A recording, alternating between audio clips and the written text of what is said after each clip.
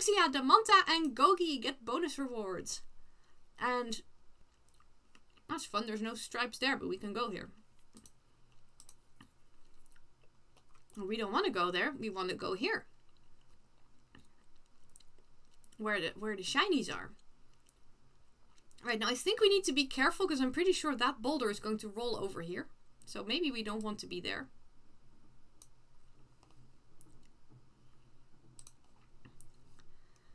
But I, I think it is really it, the people mean well of course. I mean they just see the sloth and go well you know why is the poor thing and put some people here so we can stand on there.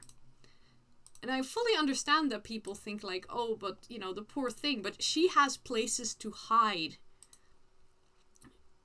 um with exceptions such as the elephants, who are a little bit too big to hide, although the elephants still have little backways places where they're not very close to the, to, uh, to, to the public.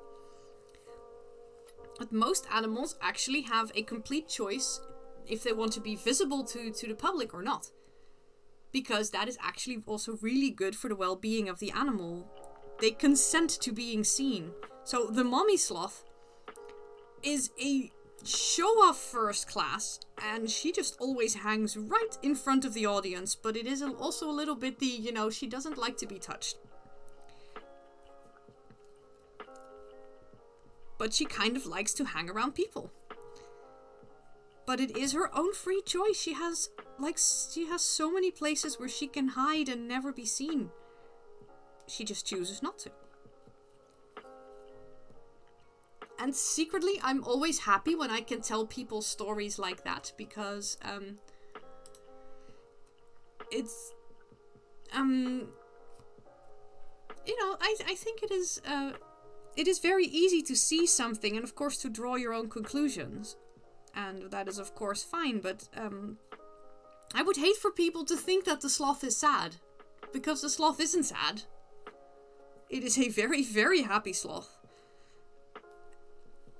as far as as we of course know uh, but yeah so i would hate for people to think that she is sad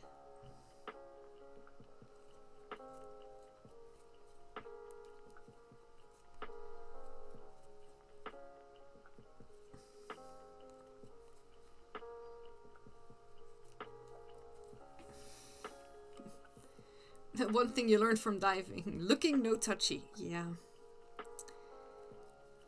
Sometimes people are very surprised that animals at zoos are not tame. No. They try to